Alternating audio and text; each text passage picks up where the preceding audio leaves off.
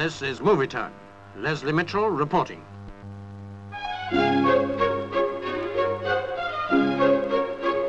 Rather a foolish gambit, playing on the beach with the temperature near freezing at Hastings and St. Leonard's, but competitors at the annual Chess Congress soon got warmed up under more cozy circumstances. 200 competitors from 14 countries. Helmut Pfleger of West Germany in glasses and Owen Hindle of Great Britain. Owen is an international player whose game is in top form just now. But how would he stand up against such a master as Paul Keres?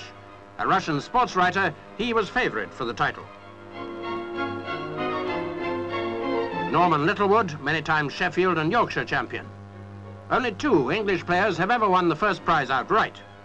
The first senior woman player to enter the Congress since 1936 is Russia's Nona Gaprindashvili. Nona, at only 23, is woman world champion. She'll take some beating.